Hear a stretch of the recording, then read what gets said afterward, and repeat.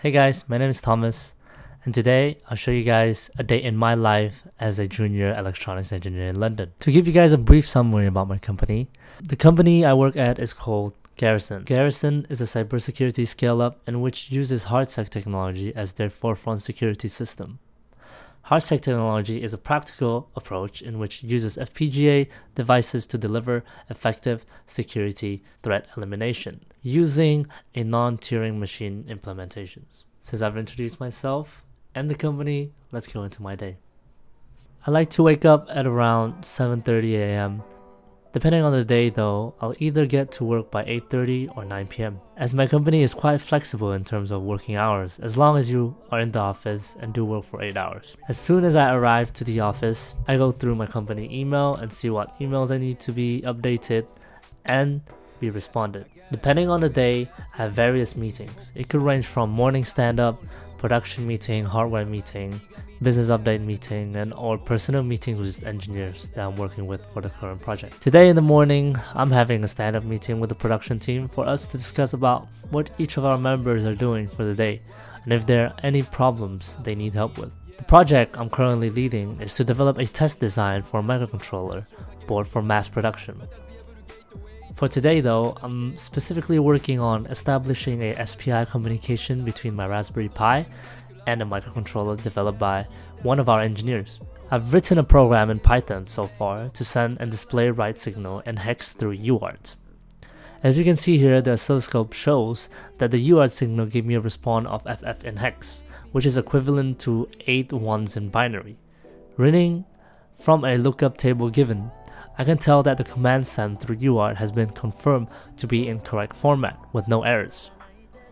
However, I'm having an issue here on the SPI line where I'm receiving no signal at all, which is strange. And so I'm currently trying to debug what the issue here is. So far, I think I debugged one of the issue which could have been a problem here, which is the command send, which may have not been correct. But based on the feedback of the UART, there is no problem with the command at all. Afterwards, when the clock hit around 12 pm, I go down the office to Waterloo and get lunch. I usually go to Lower Marsh, which is a spot where there are food vendors of various cuisines. It's super cheap to get as it costs around 6 pounds and it's actually surprisingly pretty decent for a meal. Then I go back to a big meeting room to with the company employees. However, I decided today that I'll be having some Korean food instead. So what I'm having here is a spicy codfish soup and it's super delicious. Just look at it. Wow. Whew. I personally don't like to eat fish, but damn, this dish is good and healthy. By that time, I go back up after an hour lunch. I'll have another meeting with the hardware engineer and production team where both teams discuss and explain what they have been doing for the past week. It is an update for both teams and for us to see where our progress are, and update any hardware changes, procurement or problems that has arisen that need change. It gives us a chance to see the big picture and get help from others if needed. Afterwards, I just go on the day with my project that I'm currently assigned to lead to give an overview of what kind of things I do, I've been using all kind of tools at my disposal to progress my project forward. These ranges from using an oscilloscope to read signals, a voltmeter to test connectivity, and all desoldering equipments to populate chips, headers, and further I used to create my own makeshift jumper wires for an interface between the female headers of the microcontroller and the Raspberry Pi pins. The makeshift jumper wires are not that reliable, but will do for the proof of concept.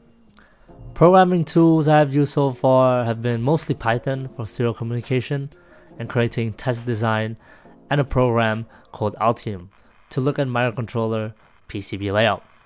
Later on though, I'll be developing a PCB interface between the Raspberry Pi and the microcontroller using the Altium Designer program. And the rest is just a lot of research, reading, and documentation for the project. Of course, I don't just work 8 hours straight. I do have breaks time to time, eating fruits, be on my phone, talk to my colleagues, have a chat with other engineers, you know, just to get my mind off things when I'm stuck. By then, the clock is around 5:30 p.m. and I pack up and ready to get home.